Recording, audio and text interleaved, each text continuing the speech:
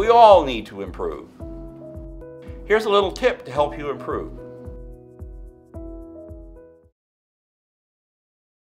Preparing for a keynote, whether you're going to deliver it from a lectern at a banquet or from a large platform in a theater, is a pretty important thing.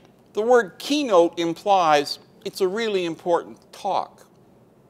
It might be 30 minutes, might be 45 minutes. I've seen them as long as an hour and a half.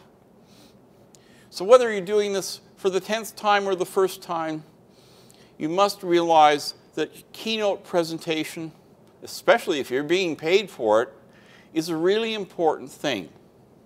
Not just for the audience that will receive your message that day, but for your own reputation as delivering keynote speeches. So preparation, preparation, preparation. Know your material, know your audience, know where you're going to be giving it, and do some dry runs. Do some dry runs. Hopefully in the room where you'll, you'll actually present it or a room like it.